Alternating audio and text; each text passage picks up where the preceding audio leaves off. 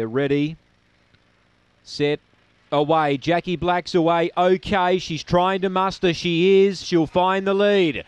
Uh, the other favourite, Spring Blooms, back second last, and Jackie Black's led the way. A length and a half on Penny Maker. Now Harbour Master's a big danger. He's into the clear and running on. Four lengths to Spring Bloom.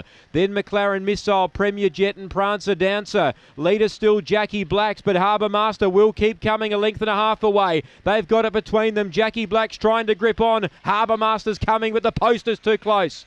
Jackie Black's defeats Harbour Master and Spring Bloom.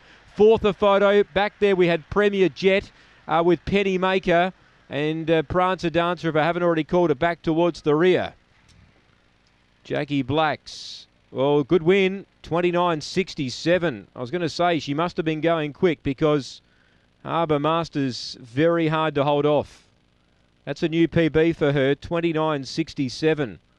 Jackie Blacks, number four, gets the money she jumped okay and she was able to muster up and find the lead. But then down the back, Harbour Master was close. And he can finish off quickly, Harbour Master. But that's a terrific win by Jackie Black. She's held them at bay.